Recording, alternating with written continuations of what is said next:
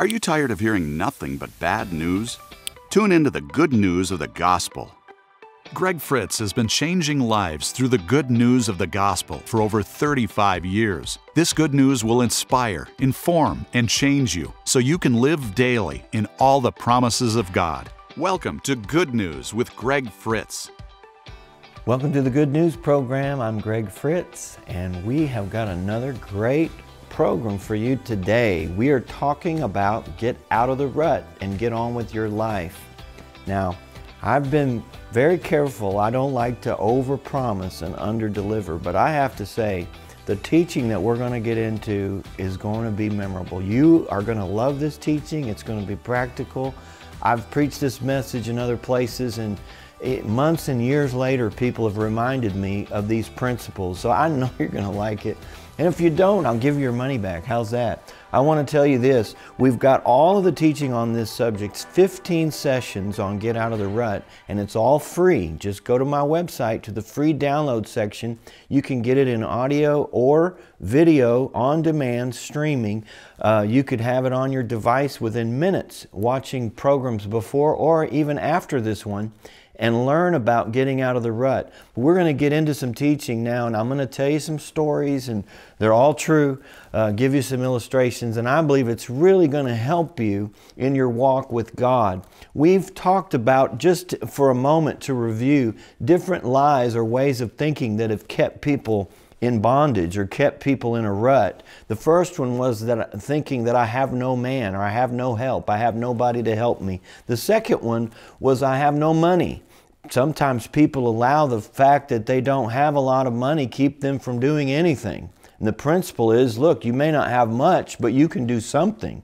Rather than I don't have much, I can't do anything, do something with what you have. And then we talked about the feeling of having no power, or I have no power, I have no ability against this opposition, against this great army that I'm facing, this great challenge. And that's just feelings, and it's not true. You don't have to go by feelings, you have the victory. But I want to give you some practical steps. Those are things that are kind of the negative side of the equation, but I want to give you some practical, positive steps that you can take to start moving again. If you feel like you've been stagnant or stuck in a rut, you want to move forward in your life, I can tell you, uh, give you some, some, some pointers here, some advice, some steps to take that you can begin right now to move forward again and give you something to sink your teeth into. In fact, I'm going to give you these three steps and we're going to cover them in the next few episodes. But number one, you can write this down. Oh, also, you can go get our study notes, and these will be in our study notes, Getting Out of the Rut Get Out of the Rut study notes on our website. But number one, use what you have. Use what you have. Number two, do what you can. And number three, start where you are. And I know that's simple, but it's profound. And it works with, with people in any situation in life, provided you're you're, you're living for God, you love God, you're right with God, your, your, your motives are just to, to live life, to do your best, to go forward and do something positive with your life. Uh, assuming that those things are, you know, in place, uh, you can begin to move forward by using what you have, doing what you can, and starting where you are. And so let's begin with this first one. Number one, use what you have. You could spend all day talking about what you don't have. it's easy to focus on what we don't have. We can all get depressed by thinking about what we don't have. I don't have any friends, or I don't have any money, I don't have support, I don't have vision, I don't have this, or I don't have a wife, I don't have a husband. There's all kinds of things that can, that can clutter our minds about what we don't have, and that's not going to get you anywhere. The point here is use what you have. And this is a spiritual principle, and it's listed over and over in the Bible. No, uh, the first place that we can go to is 2 Kings 4. And I think you're going to see this principle. You're going to really latch on to this because it's so applicable in, in everyone's life. 2 Corinth, or 2 Kings chapter 4, verse 1 says, A certain woman of the wives of the sons of the prophet cried out to Elisha, saying, Your servant, my husband, is dead, and you know that your servant feared the Lord, and the creditor is coming to take away my two sons to be his slaves. So Elisha said to her, What shall I do for you? Tell me, what do you have? I love that. And let's go back and read that again. Elisha said, What shall I do? Tell me what you do have. So this woman was in a desperate situation. Her husband was a prophet, probably didn't make a lot of money, and he died. She's a widow now with two kids, and uh, I'm sure Elisha was familiar or friends with her husband. And Elisha's the most notable prophet in the land. And this woman's desperate. She's just looking for some help. And, and probably Elisha's the most powerful person that she knows. Not necessarily the richest, but at least he's powerful and influential. So she goes to Elisha and she tells Elisha what she doesn't have. And isn't that the tendency? It's so common to focus on what we don't have. I don't have a husband. I don't have any money. I don't have any way to make money. I don't have any wisdom to get out of this situation. Well, that's clear, and it's easy to let that dominate your life. And it's easy to take all of that into consideration and then just quit, give up, go sit in a corner and feel sorry for yourself. And you know, that is an option. and that's why some people are stuck in a rut because they're just sitting in a corner feeling sorry for themselves, focusing on everything they don't have. And when they see someone else that has something they don't, they're jealous or they're disappointed or they're sad. It just creates this horrible failure of an attitude. So she goes to Elisha and tells him what she doesn't have. And Elisha says this Tell me, what do you have? Oh, that's so good. That is so powerful. What do you have in the house? And she said, Your maidservant has nothing in the house. But, you know, it's so hard to get to this one, you know, the one positive thing in your life, the key to your miracle. I'm telling you, the devil wants you to think that the key to your miracle is beyond your reach. That what you need, you don't have. The help you need isn't coming. What you need to know, you'll never know. What you need God to do, He's not going to do. What you need to get in the pool and you can't. Or you need money and you don't have any. Or you need power and you don't have any power. He wants you to just completely give up. And Elisha says, What do you have? And she says, Nothing but but but but a jar of oil. Ah! He said, Go borrow vessels from everywhere, from all your neighbors, empty vessels. Don't gather just a few. And when you come in, you'll shut the door behind you and your sons, and you'll pour it into all those vessels and set aside the full ones. And she went out from him, shut the door, and her sons who brought her the vessels, and poured it out. And it came to pass, when the vessels were full, that she said to her son, Bring another vessel. And they said, There is not another vessel. So the oil ceased. Then she came and told the man of God, and he said, Go sell the oil, pay your debt, you and your sons shall live on the rest. This is a principle that is true in the Bible, it's true in the Old Testament, it's true in the New Testament, and it's true in your life. And I cannot stress that enough. Her miracle began with what she had. Obviously, Elisha could have said, Well, you poor lady, you've had it rough. You know, all you want to do is serve God, and your husband served God, and he died, and you're poor now, and your sons are going to be taken into slavery. You know what? Just sit down and let me perform a miracle of provision in your house or before your eyes. Let me just do it. But that's not what happened. He said, What do you have? Start with what you have. Focus on what you have. And she said, I don't have anything but a jar of oil. What is that? It's just a jar. He said, That'll work.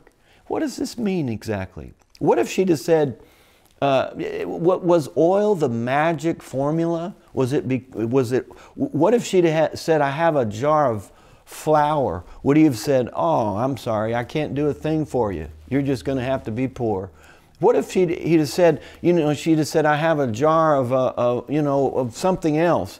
Uh, what, what would he have said? Of oats, I have a jar of oats. Would he have said, oh, sorry, that's not going to work. But oil, that is the secret ingredient. No, it didn't have anything to do with the substance in and of itself. It's the fact that she had something to start with. God wants you to use what you have. We are making a big mistake when we look over the things we have and focus on what we don't have. Be good stewards. Use what you have. She took the oil, and that was the beginning of her miracle. It was already in her hand. The same is true in Exodus 4. Let's look at this because, as I said, it, it this principle is used over and over in the Bible. God appeared to Moses and said, I'm going to use you to deliver Israel from Pharaoh. And he felt powerless. He felt helpless. He felt small. He's, he, he had a speech impediment. He had a lot of things working. Besides that, he was 80 years old. He had a lot of excuses. And God said, I'm going to send you to Pharaoh, and you're going to set my people free. And in verse 1, Moses answered and said, But suppose they will not believe me or listen to my voice. Suppose they say, The Lord has not appeared to you. Isn't that something? I'm, of course, they're going to say that. He's going to go to Pharaoh and say, I want three million people, your entire workforce. I want you to just let them go tomorrow. And, and what's he going to say? Uh, get out of my house. I'm not listening. I'm not, I don't believe that God sent you. So Moses is, he, he's kind of looking ahead to the inevitable. And he says, What if they don't believe me? And God said this What is that in your hand? Isn't that something? Moses is looking to God, do something. I need something to come down from heaven. I need something I don't have. I need you to do something I can't do. I need somebody to appear that I don't even know. I need a miracle. And God says, What is that in your hand? And, and, and he said, You could read it here in verse 2. He said, A rod. I can just see the look on his face. It, it was a stick, it was a walking stick. He probably found it in the woods and maybe he trimmed it down so he could hold on to and it was a it was like a cane a walking stick. And he was totally underwhelmed. God said what is that in here he's talking about a real problem here. I've got a real problem. Pharaoh's not going to believe me.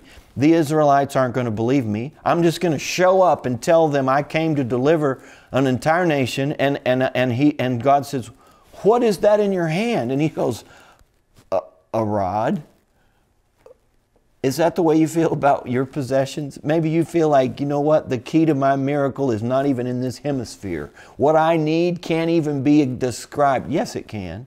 God can take what you have and do a miracle, but you've got to appreciate what you have.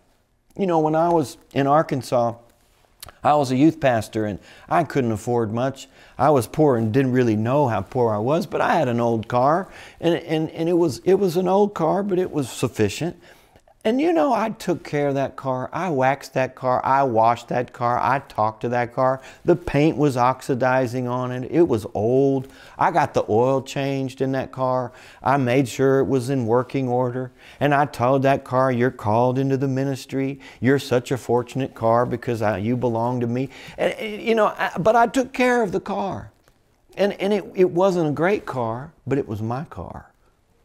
And I, instead of thinking, you know, someday I'm going to have a nice car, uh, but today I got this piece of junk, instead of looking at it that way, I tried to take care of what I had. That is the key to promotion.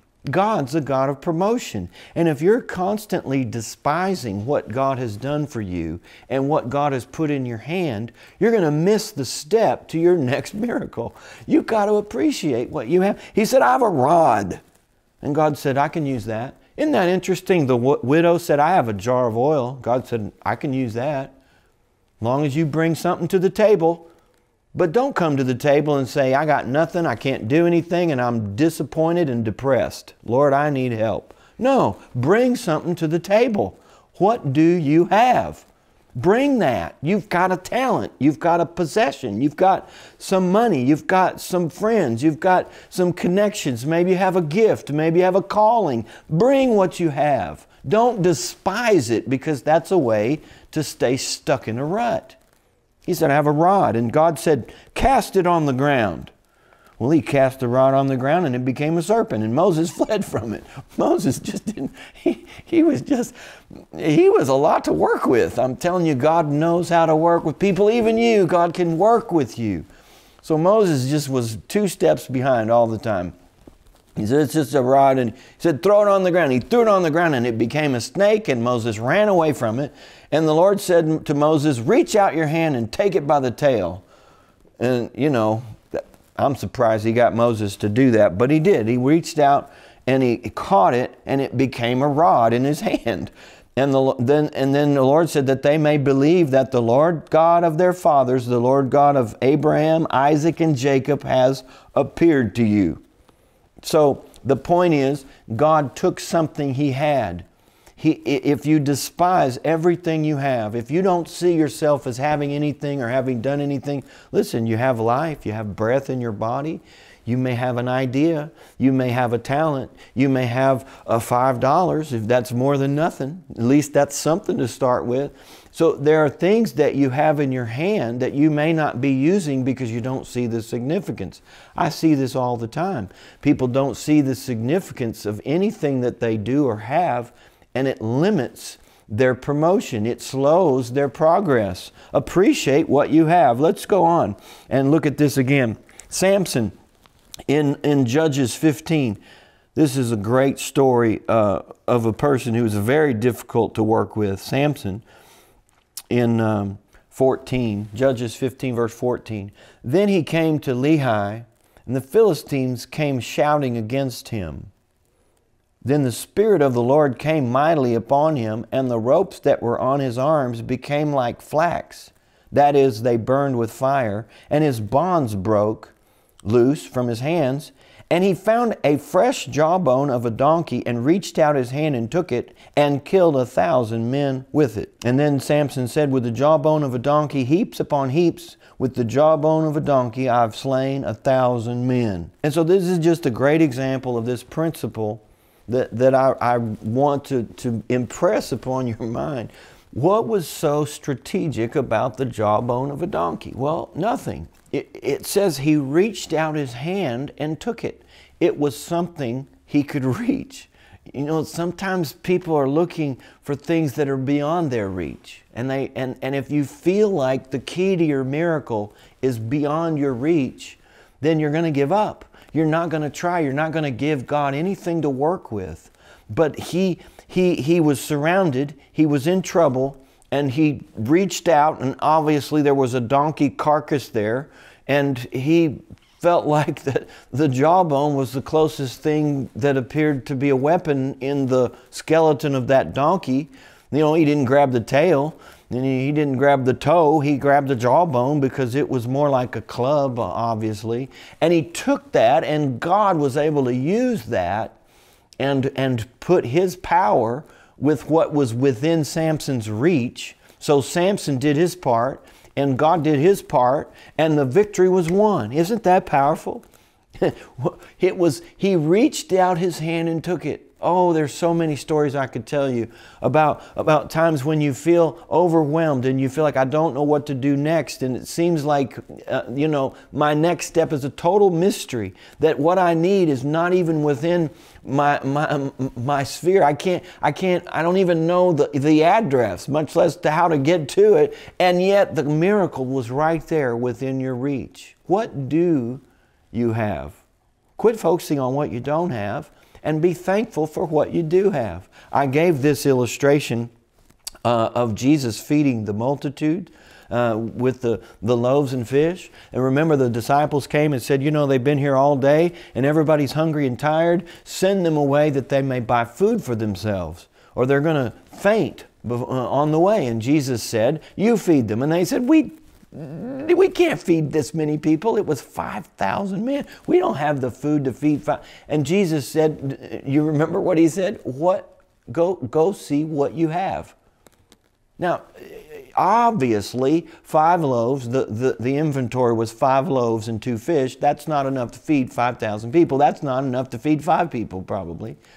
But, but, but that's what they had, and it was important to Jesus that they go Find, find out what you have. What do you have? What is within your reach? And God was able to use that and feed the multitude. Now, God could have fed the multitude. He could have said, Now just back off and watch. And He could have spoken, and, and bread could have fallen out of heaven or whatever. Fried chicken, whatever you, you could imagine, could have fallen right out of heaven and fed 5,000 people. But that's just not how the miraculous tends to operate. God wants your participation. Until we use what we have, God's not going to use what He has. He needs, you know, this whole thing is a cooperation. God didn't put us on earth so we could just sit back and watch Him live life, so that we could watch Him do things for us, for our entertainment or for our excitement. It's a, it's a, it's a joint effort, and God gets pleasure out of it. He doesn't want to create victims out of us. He doesn't want to create helpless individuals out of us. He wants us to participate. And that's why we take what we have and, and, and we use it, we divide it, we give it, we sow it. We take what we have and use that to get to the next step, the next level. I'll give you, uh, you know, I can give you more examples of this, but, but let me just say this. Uh, what you have should be valued. You need to appreciate what God has done for you to bring you to this point in your life. If you're despising where you are and what you have, you're not being thankful for what God has already done. You need to be thankful for what God has done to this point, to bring you to this point, to give you life, to give you, uh, to feed you every day and clothe you every day. God did that. Be thankful for that and begin to take inventory of what you have and what you can do with that. Our next step, which we're going to get into, is, is not only use what you have, but do what you can. These things get you involved in the process, they make you a participant. God wants to be your partner. He doesn't just want to be the, the star, the performer. He wants, to, he wants us to perform with Him. He wants us to enjoy working with Him. And when we, when we despise what we have and think we have nothing, then, then we don't give Him anything to work with. Does that make sense? What a powerful principle. I'm going to repeat it. Use what you have, do what you can, and start where you are.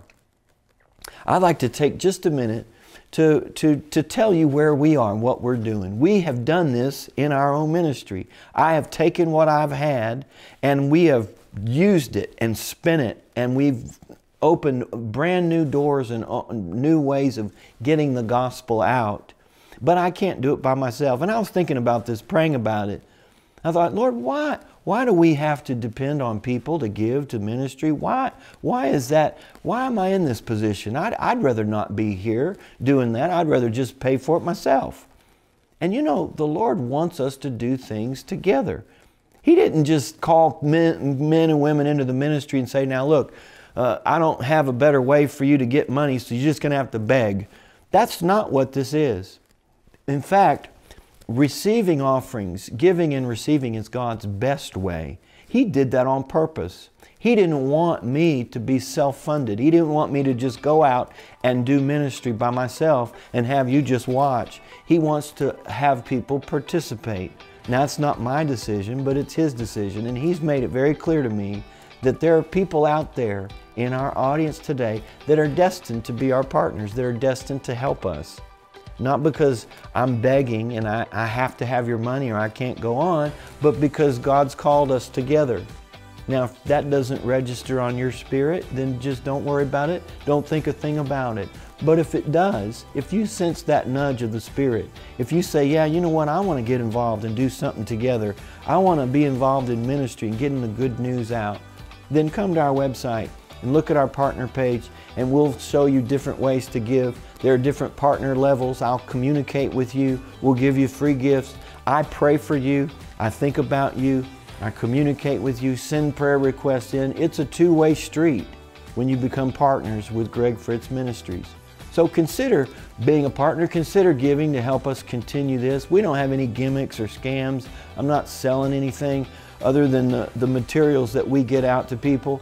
But, but this really is about getting the message to the world. And you say, well, the message is free, and it is free, but it costs money to get it out. And that's what we need help with. If God's speaking to you today to help us, please contact us, email me, go to my website, and you'll find out all the ways that you can help and be a part of this ministry. Thank you for your consideration today. Thank you for being a viewer, a part of our Good News audience. We've got more to come in this series on Get Out of the Rut, and we'll get started in our next session. Until then, may God's best be yours. Has it ever seemed as if you couldn't get ahead in life? Stop waiting to be rescued. The key to your miracle is always within your reach. Order your copy of this series, Get Out of the Rut, at gregfritz.org.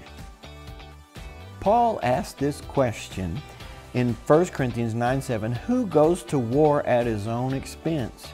Or who plants a vineyard and does not eat of its fruit? Or who tends a flock and does not drink of the milk of the flock? This is a very simple way to say that we need help ministers are ordained to receive help from those they minister to. So I have a very simple request. If this program has been a blessing to you and you have some money to give, if you want to reach out and touch the world in a different way, help me get the Good News program out to more people. We are receiving downloads constantly, reports from people all over the world that are being helped by this program, but I can't do it by myself. I can't go to war at my own expense, but if, but if you'll help, together we can do something that will reach the world with the good news. Consider that, pray about it, come to our website. We've got several ways for you to give, and we'll be looking forward to hearing from you soon. We invite you to donate and partner with us today. Learn more at gregfritz.org. Greg Fritz Ministries is reaching new people daily with the Word of God, online and at conferences. I have never heard of Greg Fritz. I actually never heard of Greg, Greg Fritz before this conference, but he's really funny and I love listening to him. That's what happens in services like this. Oh, you can't see it, but in the Spirit, the Holy Spirit will make sure that we do. We'll be talking about this and talking about that, and seeds are going out all over the congregation. And you may have come and said, I need you to do something for me, God. I've got to have my miracle. Well, listen, because it's those who hear that receive. It's those who hear. The Bible says, be careful how you listen. For to those who hear, more will be given. Isn't that an ingenious plan? If you have been encouraged by Greg Fritz Ministries, please partner with us to reach more people with the good news of Jesus. Coming up next on Good News with Greg Fritz. And I believe many people have been stuck in their in their condition because they're trying to do something they're not called to do or they're trying to be something that they're just not capable of being. I think we need to be honest about things uh, I've tried, and everybody tries not to hurt somebody's feelings, and that's good. We don't want to hurt anybody's feelings. But sometimes you just need the truth at the expense of your feelings. I can give you some humorous examples just to make the medicine go down, but I, I, uh, in traveling to churches over the years, especially in the earlier days, we'd have longer meetings, and we'd have, if we had a Sunday, Monday, Tuesday, Wednesday night meeting, uh, a lot of times we'd have what they call a special. And that would be a, a person that would come sing a special song before the minister comes, the guest minister comes to speak.